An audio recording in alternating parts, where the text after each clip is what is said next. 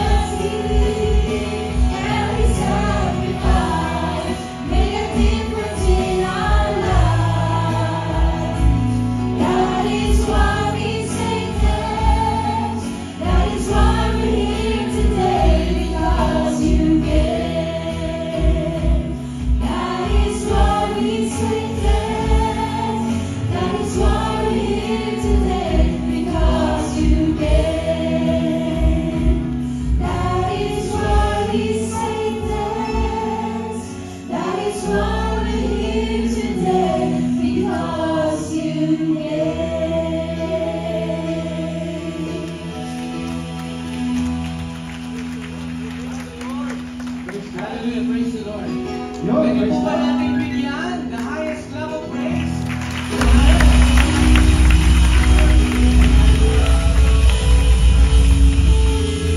Praise God, praise God. Kagaya nga po ng ating uh, ng worship din natin. Uh, ayan, gusto rin natin i-celebrate ngayon, Brother Richard.